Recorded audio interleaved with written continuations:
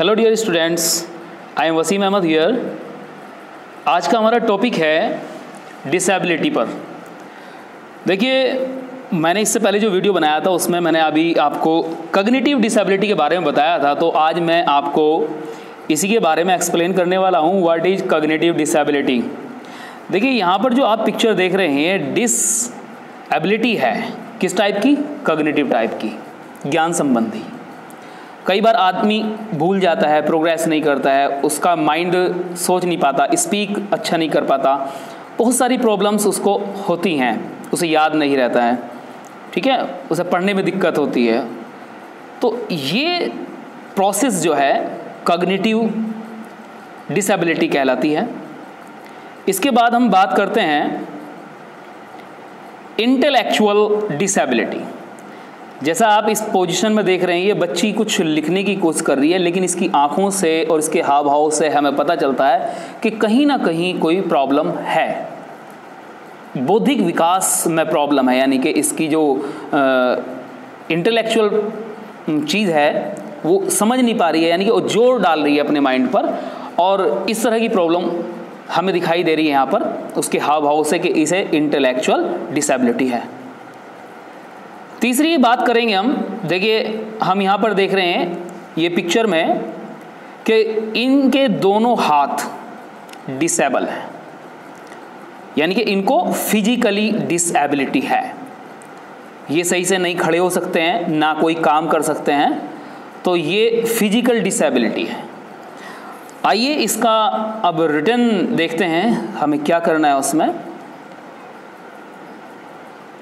Types of disability अब जो आपका रिटर्न चैप्टर है, वो ये है कि आप सबसे पहले हेडिंग लिखेंगे कि टाइप्स ऑफ़ डिसेबिलिटी कि डिसेबिलिटी कितने प्रकार की है। सबसे पहले हम बात करेंगे कग्निटिव डिसेबिलिटी की।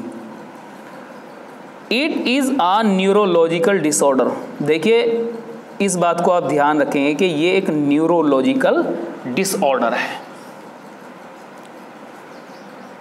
That creates hindrance or obstruction for an individual to store, process, and produce information. यानी कि प्रोड्यूस इंफॉर्मेशन की प्रॉब्लम प्रोसेस की प्रॉब्लम किसी चीज़ को स्टोर करने की प्रॉब्लम रुकावट पैदा होती हैं।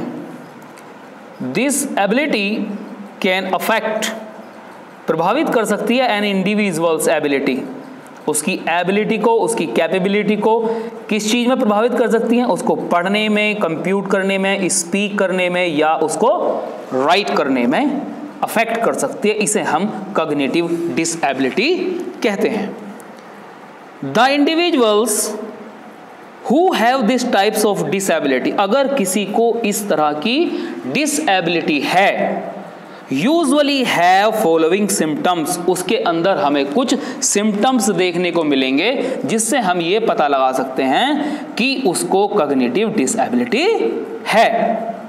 आइए जानते हैं इसके बारे में कौन कौन से वो पॉइंट्स हैं जिससे हम पता लगा सकते हैं कि उसे कौन सी प्रॉब्लम्स हैं और इसे कौन सी डिसेबिलिटी है।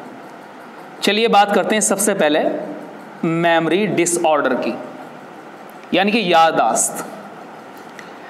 An individual who has auditory problem जिसे ऑडिटरी प्रॉब्लम है, और डिफ़िकल्टी इन रिमेंबरिंग समथिंग याद रखने में प्रॉब्लम है, सुनने में प्रॉब्लम है दैट ही हियर्ड कि वो क्या सुनता है क्या कहता है क्या देखता है बिफोर समटाइम्स कुछ समय पहले उसने क्या देखा क्या सुना क्या कहा उसे याद नहीं रहता। तो इसे हम कहते हैं मेमोरी डिसऑर्डर तो ये सिम्टम्स हमारा किसमें आएगा? कग्नेटिव डिसएबिलिटी में. दूस, दूसरा जो टॉपिक दूसरा पॉइंट है हमारा हाइपर एक्टिविटी हाइपर एक्टिविटी में क्या होता है?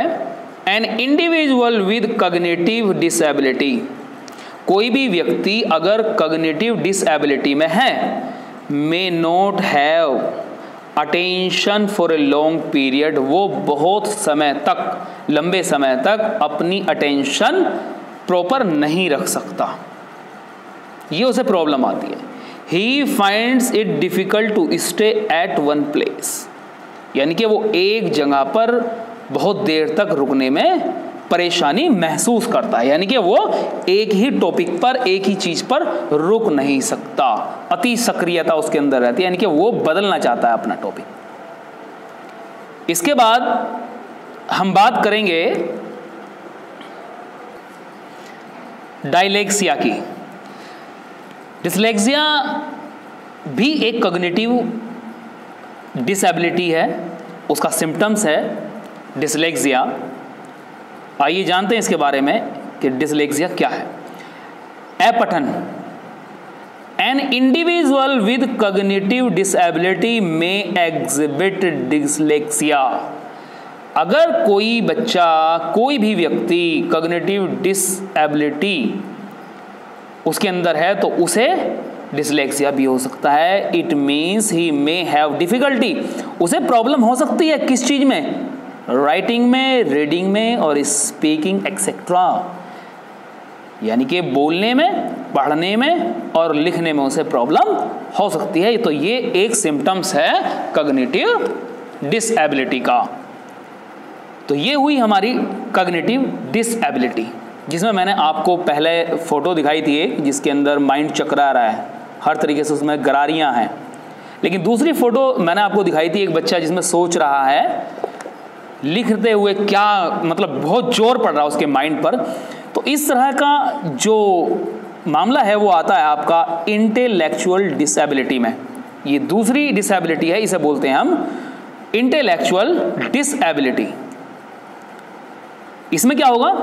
It is a disability characterised by significant limitations both in intellectual functioning reasoning learning problem solving अगर कोई प्रॉब्लम है, उसे सॉल्व करने में प्रॉब्लम है, याद करने में प्रॉब्लम है रीजनिंग के जो क्वेश्चन है, उन्हें करने में प्रॉब्लम है एंड इन अडेप्टिव बिहेवियर उसका बिहेव जो है अडेप्टिव होता है which covers a range of everyday social and practical skills indeed this disability is related to the individual's thought उसके विचारों से संबंधित होती है ये एबिलिटी डिसबिलिटी प्रोसेस से and communications money learning problem solving and judgement वो निर्णय नहीं कर पाता।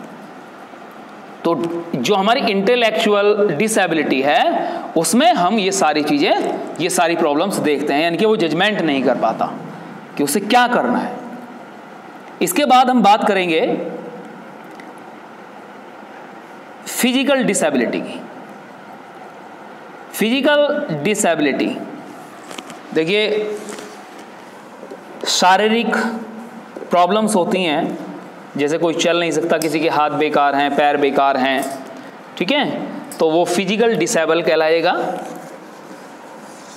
It is a limitation on individual's physical functioning यानी कि फ़िज़िकल फ़ंक्शंस जो होते हैं हमारी बॉडी के, उसकी एक लिमिट होती है, यानी कि लिमिट से करता है वो हर काम को। क्योंकि प्रॉब्लम है उसको मोबिलिटी की डेक्स्ट्रिटी की और स्टैमिना की। उसमें ना स्टैमिना होगा डेक्सट्रिटी नहीं होगी मोबिलिटी नहीं होगी। अदर इम्पेयरमेंट्स कुछ दूसरी हानियाँ भी होंगी।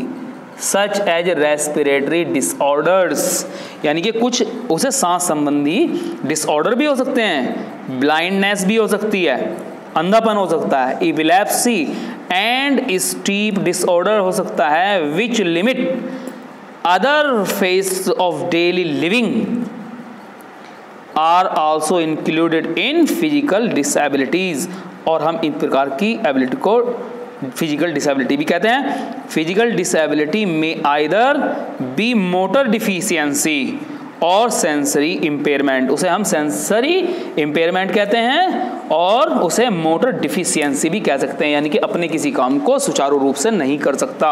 यानी कि उसकी मोटर जो इफिशियंसी है, वो नहीं होगी, बल्कि उसकी मोटर डिफिशियंसी होगी।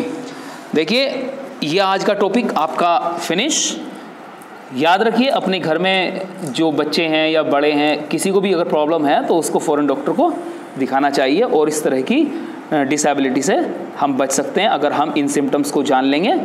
Thank you for watching this video please subscribe my channel ज़्यादा से ज़्यादा आप वीडियो देख पाएँगे, अगर आप बेल आइकन भी दबा देंगे तो. Thank you very much